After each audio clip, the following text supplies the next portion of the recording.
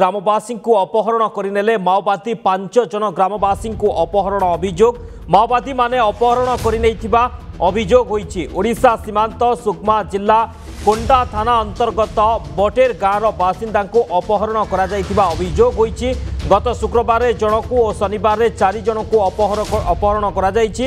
ଏବେ ଯାଏଁ ଅପହୃତଙ୍କ କୌଣସି ସୂଚନା ମିଳିନାହିଁ ଅପହୃତଙ୍କୁ ସୁରକ୍ଷିତ ଭାବେ ଛାଡ଼ି ଦେବାକୁ ନିବେଦନ କରିଛି ଆଦିବାସୀ ସମାଜ ତେବେ ଗ୍ରାମବାସୀଙ୍କୁ ଅପହରଣ କରିଛନ୍ତି ପାଞ୍ଚ ଜଣ ଗ୍ରାମବାସୀଙ୍କୁ ମାଓବାଦୀ ଅପହରଣ କରିଥିବା ଅଭିଯୋଗ ହୋଇଛି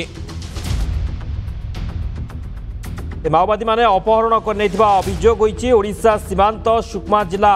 কোন্টা থানা অন্তর্গত বটের গাঁর বাসিন্দা অপহরণ করা যাই নেই অভিযোগ হয়েছে গত শুক্রবার জনকু এবং শনিবার চারিজণক অপহরণ করা যাইছে ଏବେ ଯାଏଁ ଅପହୃତଙ୍କର କୌଣସି ସୂଚନା ମିଳିନାହିଁ ଈଶ୍ୱର ପଟ୍ଟନାୟକ ମାଲକାନଗିରି ପ୍ରତିନିଧି ଆମ ସହିତ ଫୋନ୍ ଲାଇନ୍ରେ ଅଛନ୍ତି ଈଶ୍ୱର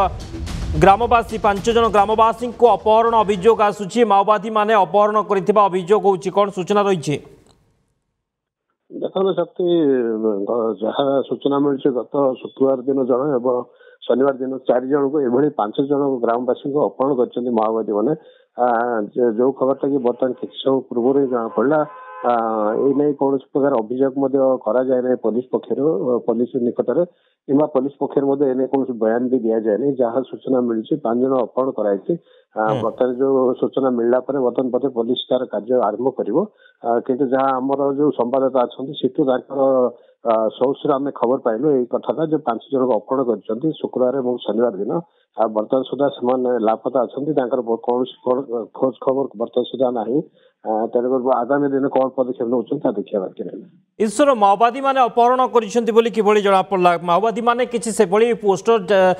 ଲଗାଇଛନ୍ତି କି ଅପହରଣ କରିବା ନେଇ କିଛି ସୂଚନା ଦେଇଛନ୍ତି କି ଯଦି ଅପହରଣ କରିଛନ୍ତି କାହିଁକି ଅପହରଣ କରିଛନ୍ତି ସେ ନେଇ କିଛି ସୂଚନା ଦେଖନ୍ତୁ ତାହା ବି ବର୍ତ୍ତମାନ ସୁଦ୍ଧା ସ୍ପଷ୍ଟ ହେଇନାହିଁ ଯେ କଣ କଣ କାରଣ ଯୋଗୁଁ ସେମାନଙ୍କୁ ଅପହରଣ କରାଯାଇଛି କିନ୍ତୁ ଅପହରଣର ଯାହା ଗ୍ରାମବାସୀ ଯୋଉ ସେମାନଙ୍କ ଭିତରେ ଯୋଉ ଆଲୋଚନା ହଉଛି ଏବଂ ଯୋଉ ସାମ୍ବାଦିକ ଯିଏ ଅଛନ୍ତି ଆମର ଯିଏ ସେଠି ତାଙ୍କର ଦ୍ଵାରା ଆମର ଯାହା ସୂଚନା ମିଳିଲା ଯେ ସେ ଯାହା